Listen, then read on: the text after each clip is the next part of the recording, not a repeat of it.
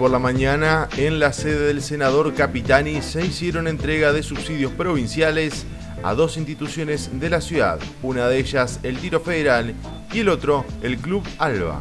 Seguimos entregando subsidios eh, extraordinarios del, del, Senado de la provincia.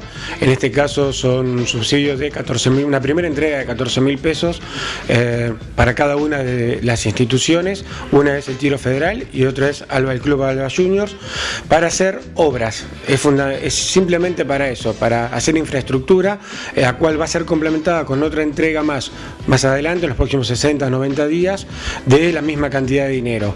Lo cual debe rendirse, después las instituciones deberán rendirla al Senado, inaugurando la obra que eh, piensan hacer. ¿Son las primeras entregas que se van a hacer? ¿Se piensan en otras entregas? Nosotros comenzamos ya en el mes de diciembre con el Club Regatas, que se les entregó igual cantidad para la reparación de los baños del club. Entiendo que las obras están en marcha y eh, vamos a tratar, vamos a ir gestionando más de estos subsidios extraordinarios a través del senador Capitani para traer eh, hacia la ciudad, hacia las instituciones de la ciudad que lo necesiten y lo requieran para hacer infraestructura, esta ayuda. El monto entregado para las instituciones es de 14 mil pesos y se espera que se refaccionen las instalaciones. Para la institución del Tiro Federal Argentino, esto es una gran ayuda, es un complemento más que gracias a las gestiones del senador Danilo Capitanich, eh, vamos a ser eh, recibidos eh, una coparticipación o una entrega de un subsidio. Nosotros estamos teniendo una prestación más a nivel social en este momento porque todavía no estamos con la práctica de, tiro, digamos, con armas de fuego. Estamos tirando con, armas de neumáticas y se está haciendo arquería ahora en este momento, pero bueno, eh, la intención nuestra es primero acomodar el edificio.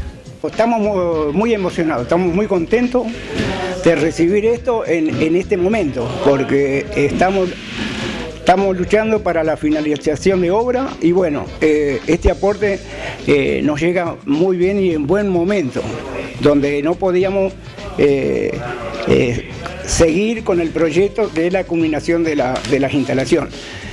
Bueno, esto va a ser bienvenido y Estamos apostando a, eso para terminar las obras, para después dedicarnos al fútbol, porque las dos cosas juntas no se pueden.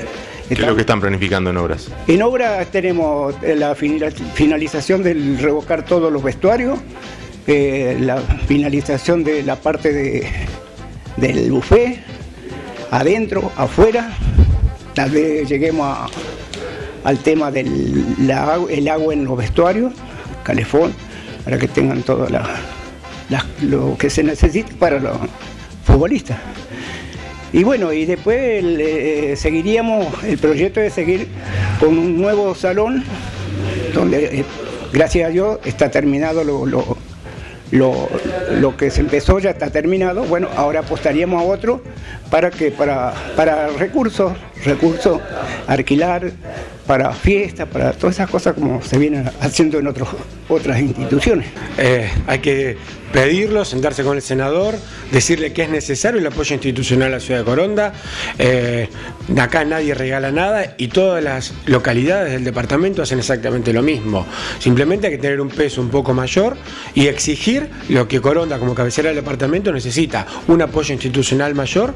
Y bueno, el senador se, se ha visto generoso en este, en este así que bueno, a nosotros por lo menos nunca nos ha negado absolutamente nada y traemos no solo las ayudas mensuales para gastos de funcionamiento que se dan, que van entre los 1.500 y 2.000 pesos a las instituciones que lo reciban, sino que bueno, hemos logrado en los últimos seis meses gestionar para estas tres instituciones estos importantes aportes.